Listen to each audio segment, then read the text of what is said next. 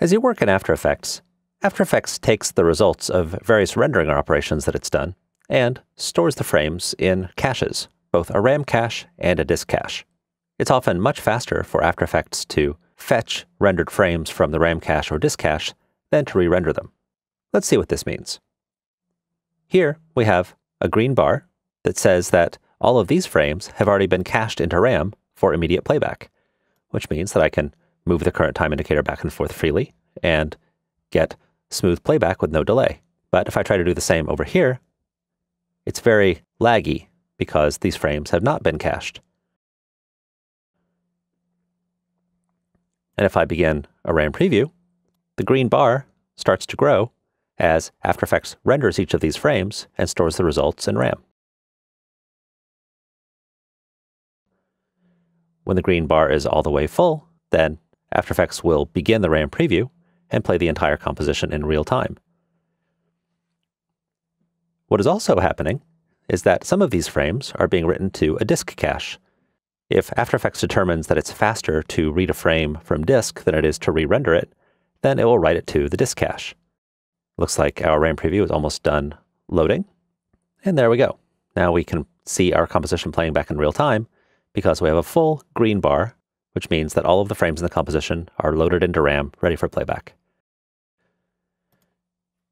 Now, if I purge the memory so that the RAM is emptied by going to Edit, Purge, All Memory, then we see down here a blue bar left behind, and this represents the disk cache. So even though we purged the RAM, we didn't purge the disk. So all this information is on the disk, ready to be read back into RAM more quickly than the rendering process took. So I'll click RAM Preview again. And now After Effects is reading the information from the disk back into RAM. And this is going considerably faster than when the frames had to be rendered fresh.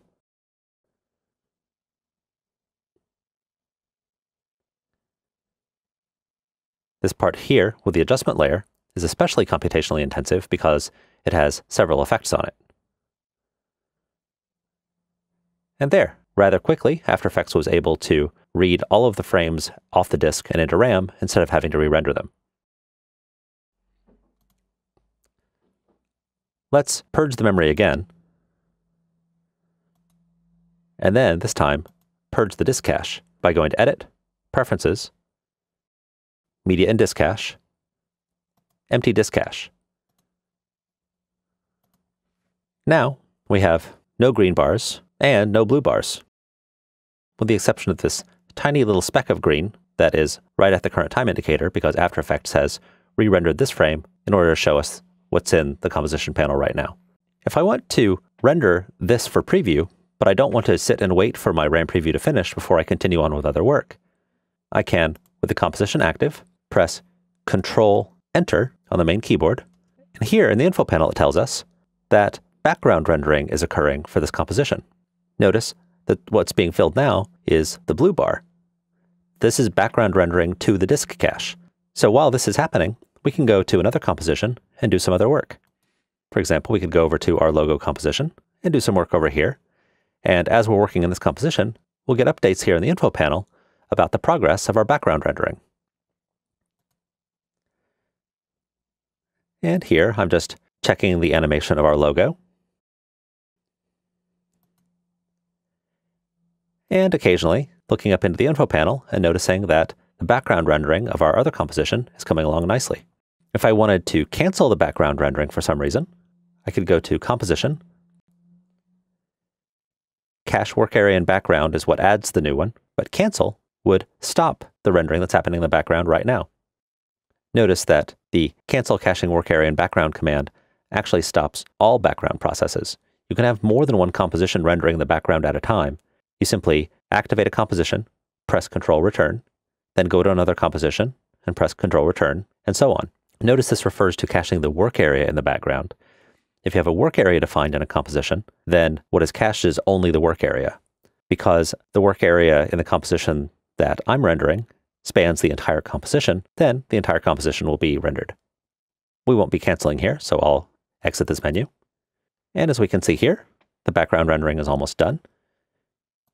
And there, we're told that the background process is done caching the frames onto the disk cache. So if we go back over to this composition, we'll see that we have a full blue bar, meaning that we can go to any frame and immediately After Effects will load that frame from the disk into RAM.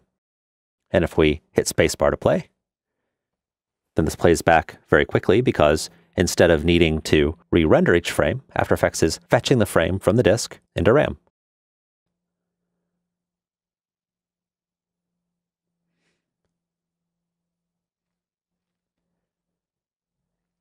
The disk cache is persistent across sessions as well. When you stop After Effects, the disk cache does not get emptied automatically. Instead, if you open the same project tomorrow or a week later or a month later, then After Effects will still be able to use the same disk cache. So you don't have to redo your work and wait for After Effects to re-render everything. I'll stop this preview. One important point about the disk cache is that what is being stored is not just the rendered frames, but the intermediate results for the frames. So, for example, if we make a change in our adjustment layer here to one of the effects, let's say we get rid of the sharpen effect by deleting it, right away we see that all of our cached information here is gone because we changed the input into the composition. The rendered frames are no longer valid. But if I undo then immediately the cache comes back. If instead, let's say I change this to 3, again, the cache is removed because right now the frames that are held in the cache are not valid for the current state. But if I take this back down to 1, After Effects recognizes that we're in a state that it has seen before, and so it pulls those frames back out of the disk cache and into RAM. This storing of intermediate results in the cache, not just rendered frames, is referred to as the Global Performance Cache. There's nothing that you need to do to take advantage of this, just know that it makes everything in After Effects so much faster. The best way to take advantage of the disk cache, including the Global Performance Cache, is to put your disk cache on the fastest drive that you have and give it plenty of room to work. Let's go to Edit, Preferences, Media and Disk Cache, and see here where we can choose a folder and you can tell After Effects where to put the disk cache, and you can set a size. As the instructions say here, you should use a very fast hard drive or even an SSD. And make sure that it's separate from your footage because you don't want for the reading of the footage and the reading of the disk cache to collide with one another and cause performance decrease. And you should make sure that you're using as much space as possible for your disk cache. I'll click OK.